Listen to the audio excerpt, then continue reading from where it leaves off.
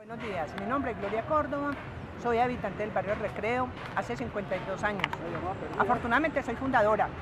Eh, este es un sitio hermosísimo, pero hemos estado muy tristes, bueno, nuevamente contentos por la recuperación, porque lastimosamente muchas entidades venían a hacer campañas, hay que reconocerlo, pero los méritos ahora de la alcaldía, porque esto se ha vuelto un foco de indigentes, eh, drogadictos, de noche es un burdel, eh, hay habitantes que duermen escondidos entre las matas.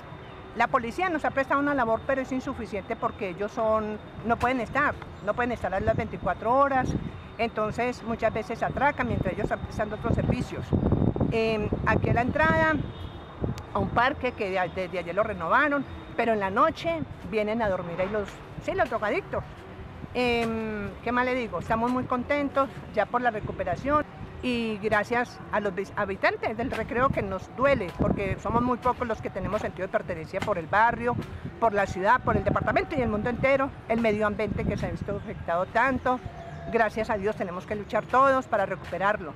Me siento feliz, porque es la primera vez, lo digo sinceramente, en 52 años que están haciendo una campaña tan extraordinaria.